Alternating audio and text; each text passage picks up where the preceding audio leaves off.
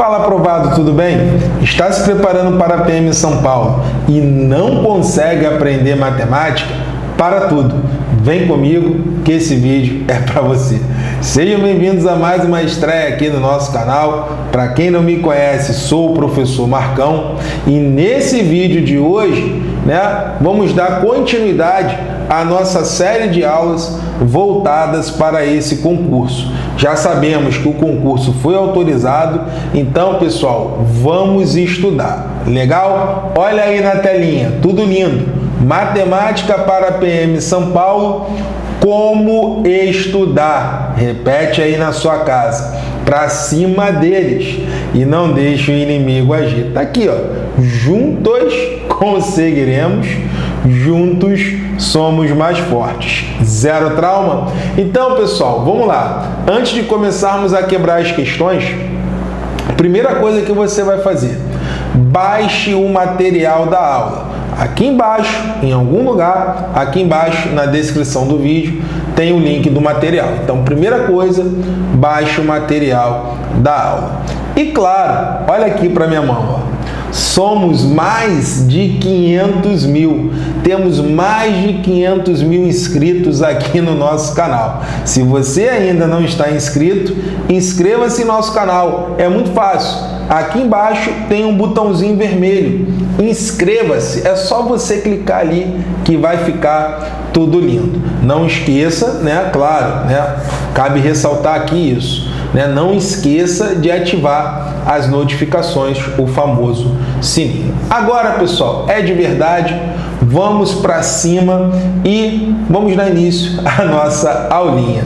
Tá aqui as nossas redes sociais. Trocamos likes e seguimos de volta. Vá lá no nosso Instagram. E agora é de verdade, bola rolando.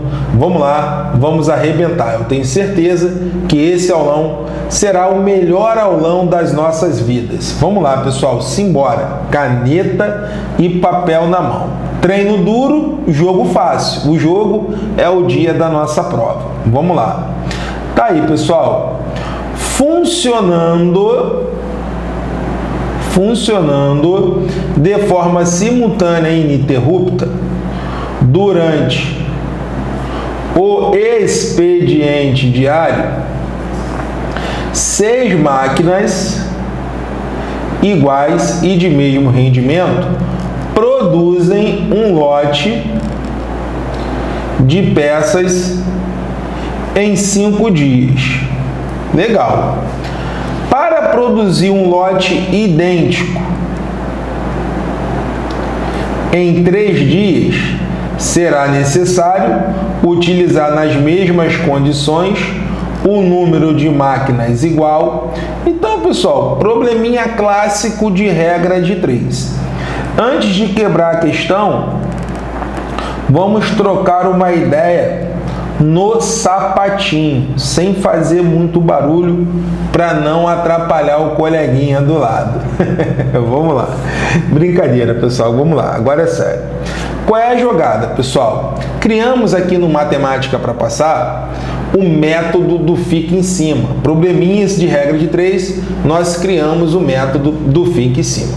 Só que, na minha opinião, esse método ele é muito eficaz na regra de três composta. Na regra de três simples, eu acho melhor a gente fazer da seguinte forma. Presta atenção. Se for direta, se for direta, a gente multiplica em x, ou seja, a gente cruza. Se for inversa, se for inversa, a gente multiplica em linha. Como na PM só cai regra de três simples, eu acho mais fácil a gente né, matar as questões dessa forma. Então vamos lá. Quando duas grandezas são diretamente proporcionais, Marcão? Quando os sinais são iguais. Ou seja, quando as duas aumentam ou as duas o que? Diminuem. Ou seja, sinais iguais, elas são diretamente proporcionais. E quando elas são inversamente proporcionais? Pô, quando um aumenta e a outra diminui, ou seja, os sinais são diferentes. Uma aumenta e a outra o quê? Diminui. Então, é simples, é só você se ligar nisso. Aí vamos lá, o que, que ele está dizendo? Que seis máquinas produzem um lote de peça em cinco dias, não é isso? Seis máquinas produzem, eu tenho toque. Então vamos lá, seis máquinas produzem um lote de peça em cinco dias. A pergunta é a seguinte: para fazer esse lote em três dias, serão necessárias quantas máquinas? Né? A ideia é essa. Para fazer esse lote, esse mesmo lote, em três dias, precisamos de quantas máquinas? Não sei. Aí é onde entra o X. Legal. Regra de três é uma comparação, né? Você vai comparar as grandezas. Então, presta atenção. Se, se para entregar o lote em cinco dias eu preciso de seis máquinas, para fazer esse lote, esse mesmo lote, em três dias, ou seja, em menos tempo, eu preciso de mais ou menos máquinas? Coloca aí no bate-papo para mim. Vamos lá. Pensa aí um pouquinho. Olha aí. Para entregar o mesmo lote em menos tempo, eu preciso de mais ou menos máquina? Ó, em cinco dias, para entregar em cinco dias, eu preciso de seis máquinas. Agora a história é outra. Eu quero entregar em três dias, ou seja, em menos tempo. Para entregar em menos tempo, eu preciso de mais ou menos máquinas. Pô, Marcão, eu preciso de mais. Se eu quero entregar em menos tempo, com certeza eu preciso de mais. Se uma aumentou e a outra diminuiu, elas são inversamente proporcionais.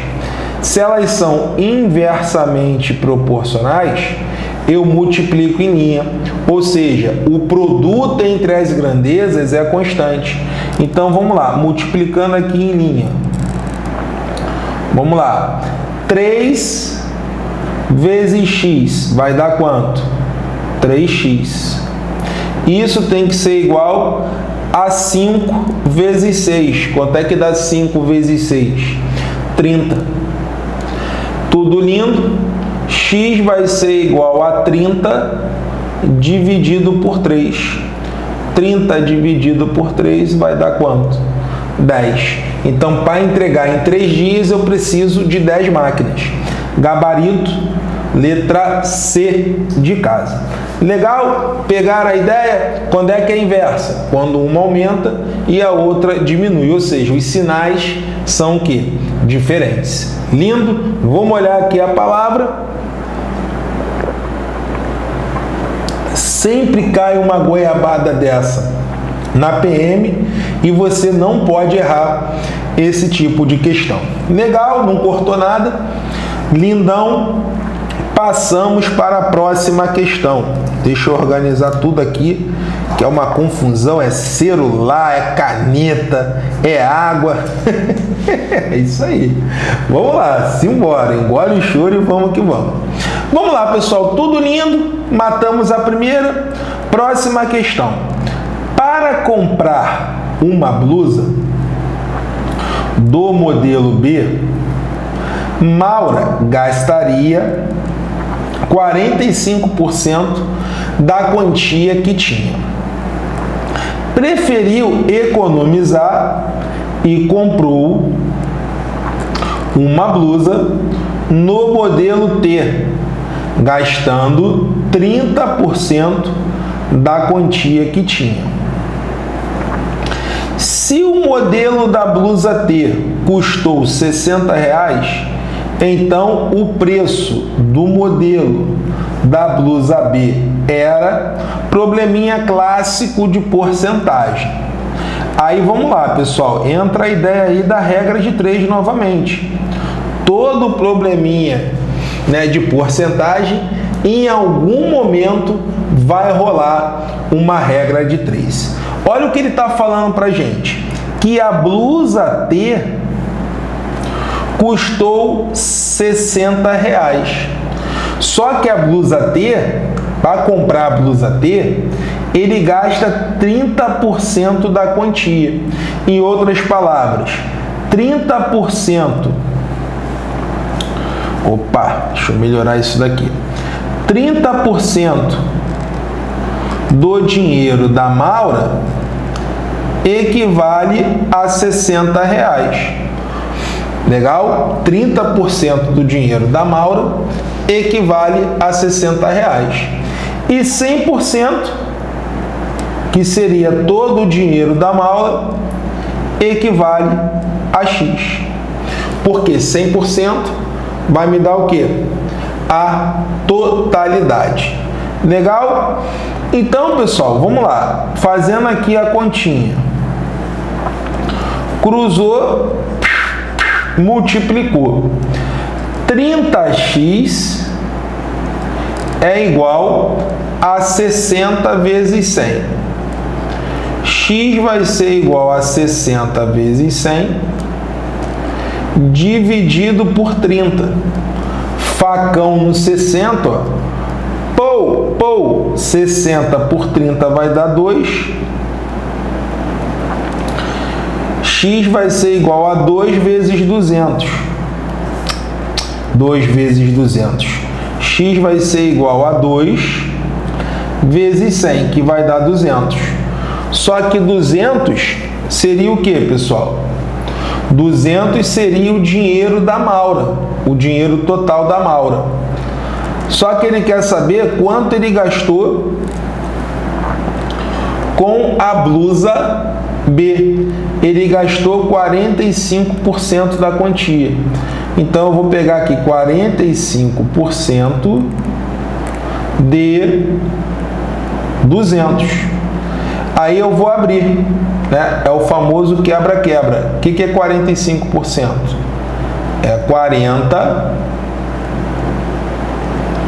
mais 5.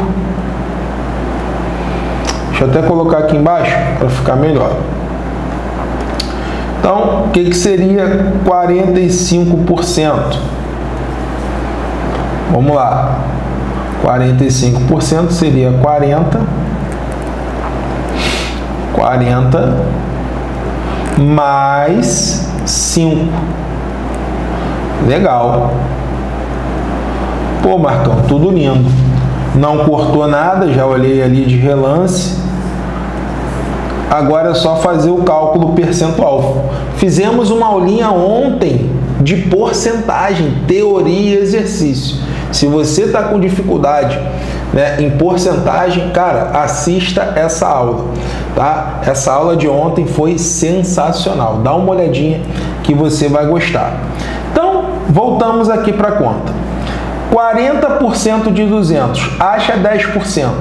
Para achar 10%, basta você voltar uma casa.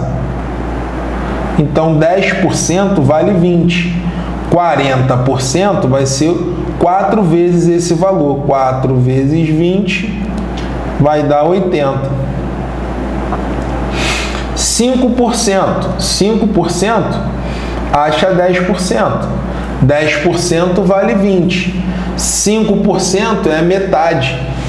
Então 5% é quanto? 10. 80 mais 10 vai dar quanto? 90. Legal? Olhando lá as opções, gabarito, letra C de churrascão da aprovação. Uma outra maneira de você fazer essa questão, até mais objetiva para você ganhar tempo na prova, era você colocar no lugar do 100% 45. Então aqui, ó, no lugar dos 100%, você colocaria 45. Aí você já iria direto na resposta. Ah, Marcão, por que, que você fez assim então? Porque eu quis mostrar para você os cálculos, né? Como se faz os cálculos percentuais. Porque isso é muito importante. E a galera que tem dificuldade de interpretar, eu até brinco. Cara, se você acha o total, você acha tudo. Porque se eu acho os 100%, eu acho tudo. Então você que tem dificuldade né, de interpretar, cara, acha sempre os 100%. Né? Se você pensou dessa forma, ah, Marcão, joguei ali 45, já fiz direto. Beleza. Você já está em outro patamar. Maravilha, sensacional. Agora, você que tem dificuldade em interpretar as questões, você que tem pânico de matemática, cara, acha sempre os 100%. Achando os 100%, com certeza você vai matar a questão. Beleza? Porque se você tem o total, com certeza você consegue achar tudo. Beleza? Da porcentagem, passamos para a geometria. Questãozinha argentina. Olha o medo visual. Deixa eu sair daqui que eu estou cortando ali. E vamos lá. Questãozinha argentina. Na figura estão representados um terreno retangular que tem 40 metros de largura e área de 2.400 metros quadrados. Um terreno com a forma de triângulo isósceles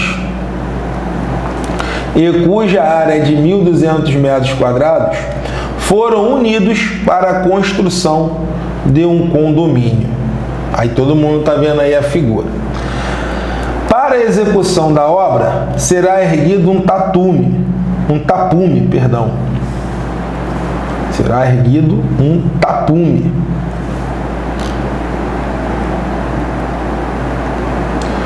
Fechamento provisório de madeira em todo o perímetro do condomínio, de, delineado em fio mais espesso na figura. A extensão total desse tapume será, então ele quer o perímetro da figura. Em outras palavras, ele está pedindo aí o perímetro da figura. Então vamos lá. Como é que a gente acha a área do retângulo? Ele está falando que, é, que o retângulo tem 2.400 metros quadrados. Então, a área do retângulo é base vezes altura sobre 2. Então, vai ser base vezes altura sobre 2 não, né? é o inimigo agindo, ó, já é fazer besteira. Então, a área do retângulo é base vezes altura. Deixa eu colocar aqui mais embaixo para você visualizar. Aqui é 40 e aqui a gente não sabe o valor, vou chamar de B. Então é base vezes altura. Então isso tem que ser igual a quanto? A 2,400. Então base vai ser igual a 2,400 dividido por 40. Ó. Pou, pou. 240 dividido por 4, lindão, tudo lindo. Vai dar quanto? 60. Então eu já sei que a base do retângulo é 60. Deixa eu até apagar aqui para não atrapalhar. Então a base do retângulo é 60. É. Só que a parte de cima é igual à parte de baixo. A base do retângulo ela coincide com a base do triângulo. E ele fala que o triângulo é isósceles e a área dele é de quanto? De 1.200 metros quadrados. Como é que a gente acha a área do triângulo? É base 60 vezes altura dividido por quanto? Por 2. Isso tem que ser igual a quanto, Marcão? 1.200. Fazendo essa continha, a gente vai achar a altura do triângulo. Zero trauma? Então tá aqui, ó. Pou, pou, 60 dividido por 2 vai dar 30. 30H é igual a 1.200. H vai ser igual a 1.200 dividido por 30. Pou, pou, 120 dividido por 3 vai dar 40. Então, a altura do triângulo vale quanto? 40. Se a altura do triângulo vale 40 e esse triângulo é isósceles, vai 30 para cada lado. Porque a altura, ela também faz o papel de mediana. Então, vai 30 para cada lado. 30 mais 30 vai dar os 60. Como eu preciso dos lados da figura, ó, eu já tenho aqui, ó, 40, 60, 40. Falta eu achar os lados do triângulo. Como é que a gente vai achar os lados do triângulo? Tá aqui, ó. Fazendo o teorema de Pitágoras. Ou, ou aplicando né, a ideia do triângulo pitagórico. O mais famoso é o 3. Deixa eu até colocar aqui embaixo. É o 3 está aqui embaixo. É o 3, 4 e 5. Olhando ali, pessoal, fica bem claro que ele pegou cada lado desse triângulo e multiplicou por quanto? Por 10. Ele pegou cada lado desse triângulo e multiplicou por 10. Então a constante de proporcionalidade ali é 10. Ó. Pega a visão. Ó. 3 vezes 10 vai dar quanto? 30. 4 vezes 10 vai dar quanto? 40. Pela lógica, 5 vezes 10 vai dar quanto? 50. Aí você não perde tempo aplicando o teorema de Pitágoras. Como o triângulo é isósceles, né, os dois lados são iguais. O que aconteceu de um lado, com certeza vai acontecer do outro. Aí ficou fácil. Perímetro. Perímetro, a nomenclatura é 2P. O que, que é perímetro? É a soma dos lados. Vamos lá. 40 mais 60. 40 mais 60 isso aí vai dar 100. 100 mais 40. 100 mais 40, 140. 140 mais 50 vai dar 190. 190 mais 50, 240. Então, o perímetro desse terreno é 240 metros. Olhando aí as opções, gabarito, letra A de aprovado no meu concurso. Legal? Deixa eu voltar aqui para a gente trocar uma ideia. Beleza? Então, pessoal, chegamos aqui na nossa terceira questão. Espero de coração que você esteja gostando da aula. Eu sempre falo isso para os alunos, né? Se essa aula está sendo importante para você, se você de fato está gostando dessa aula, cara, compartilhe. Compartilhe e vamos ajudar outras pessoas. Se você tem um amigo que você sabe, pô, que o cara estuda, que o cara está focado, cara, manda o link dessa aula para ele. Não pense em competição nesse momento. Somos todos MPP. A ideia aqui é de uma comunidade. Aqui a ideia é de uma família, a família MPP. É um ajudando o outro. Então, se essa aula está sendo bacana, está sendo produtiva, cara, compartilhe com um amigo. Né? Se você tem um amigo que está focado, cara, manda o link dessa aula para ele. Beleza? Isso é aquele momento da gente relaxar um pouquinho. Vou até molhar, vou até molhar aqui novamente a palavra tomando uma aguinha. É um momento né, complicado aí nas nossas vidas. O tal do coronavírus aí né, chegando no Brasil. E a ideia é que, nós, né, todo mundo, fique realmente em casa.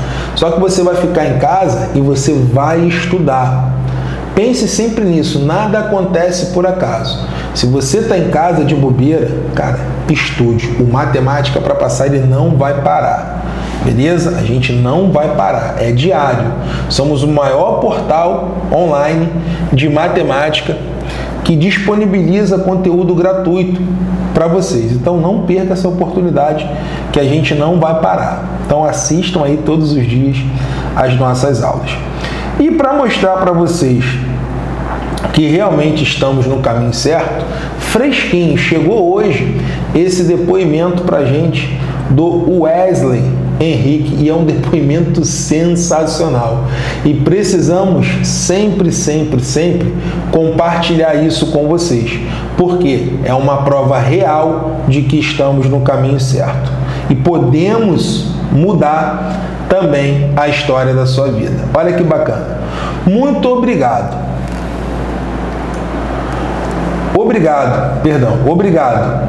É muito pouco para expressar a gratidão pelo conteúdo que nos oferece. Há duas semanas, olha que legal, fui de Sorocaba, São Paulo, a Biguaçu, Santa Catarina. Foram 14 horas de viagem. Fiz a prova do concurso público para a Prefeitura de Biguaçu, Santa Catarina Graças ao método MPP, cheio de bizu, não deixei o inimigo agir e tive cabeça de gelo para conseguir gabaritar as cinco questões de matemática. Marcão e Renato, vocês são professores nota mil. Parabéns pelo trabalho. Então, pessoal, é isso aí estamos realmente mudando a vida das pessoas. E nós queremos que esse resultado aconteça com você. Mas para isso acontecer, pessoal, você tem que mudar de atitude. Você tem que mudar de atitude.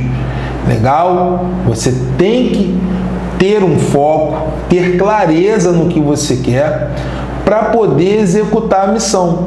Ah, Marcão, eu quero passar para a Polícia Militar do Estado de São Paulo, eu quero TJ do Rio e eu quero Polícia Civil do Distrito Federal. Cara, tem que ter um foco. Tem que focar. Cara, você quer ser policial militar? O seu sonho é esse? Vamos focar nesse concurso. Beleza? É assim que funciona. A primeira coisa é né, mirar um alvo. É você ter um alvo e ter clareza no que você quer. Aí a gente monta a nossa estratégia. Zero trauma, legal? Foi um papinho só para descontrair. Agora voltamos para mais uma questão. Vamos lá. Questãozinha de geometria espacial. Presta atenção que nesse probleminha tem uma pegadinha. Determinado tipo de massa de modelar é vendido em bastões, que tem a forma de um prisma reto de base quadrada, conforme mostra a figura. Sabendo que cinco bastões têm massa de 240 centímetros de volume, então a altura de um bastão indicada pela letra H é de, vamos lá, ele está dando um volume de 5. Então, para a gente saber o volume de um, de um bastão, o que, que a gente vai fazer? A gente vai pegar 240 e vai dividir por quanto? Por 5. 240 dividido por 5 vai dar 48. Então, o volume de um bastão é 48. Para achar o volume de um paralelepípedo, basta a gente multiplicar as dimensões.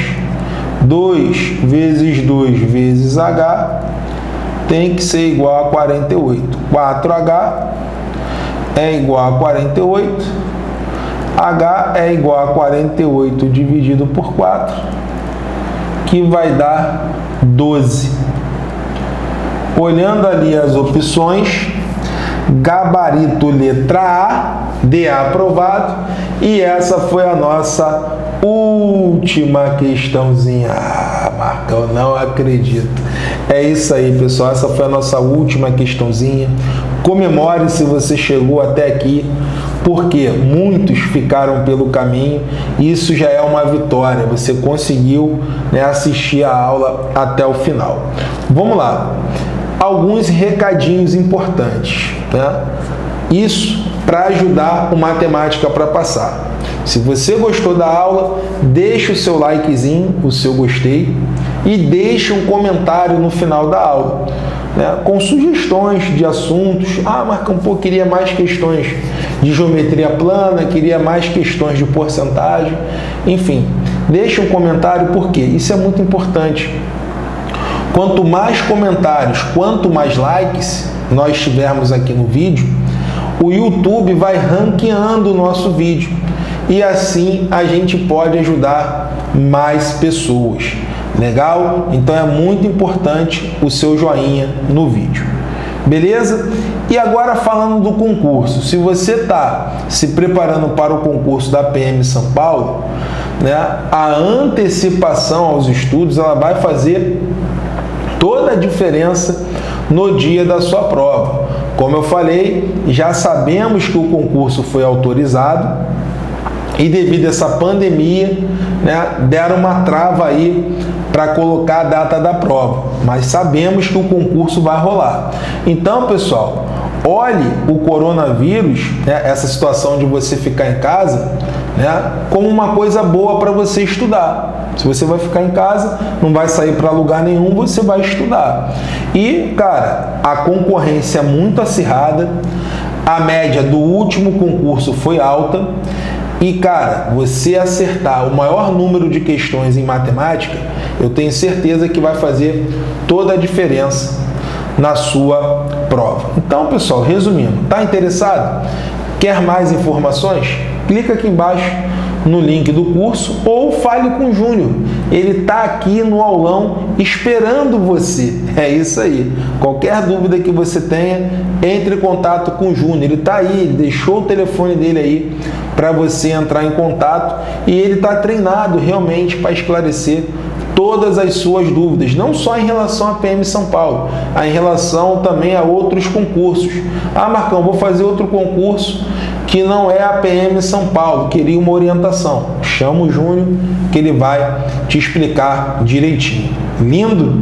Legal? Recadinho dado? Agora vamos à nossa mensagem, pessoal. Gostei dessa mensagem, por isso que eu troquei.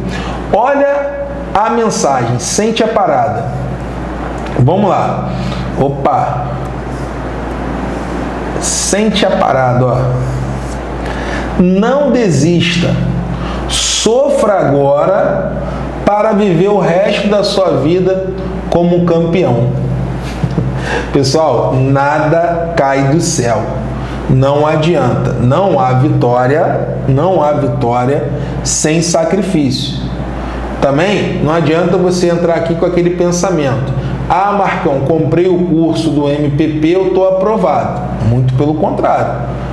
É 50-50. 50% é com a gente e 50% é com vocês. Qual é a nossa missão aqui? Fazer né, um curso né, de excelência, mostrando para você o método MPP, para você realmente arrebentar na sua prova. Mas para você arrebentar na sua prova, você tem que seguir passo a passo o método. E o método nada mais é que um processo, são etapas. E você não pode pular as etapas. E você não pode pular as etapas. Vou te dar um exemplo. Lá no curso, né, lá no curso do, da PM São Paulo, colocamos um módulo de nivelamento, um módulo de matemática básica. Aí o aluno começa a assistir esse módulo, aí não sei porquê, ele acha que, que sabe tudo, eu acho que é isso.